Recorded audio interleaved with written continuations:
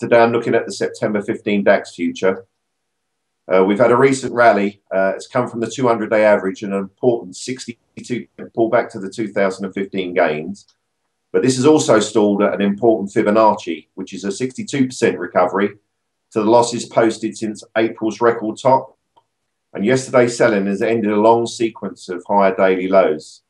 Uh, this is a very negative signal in our opinion.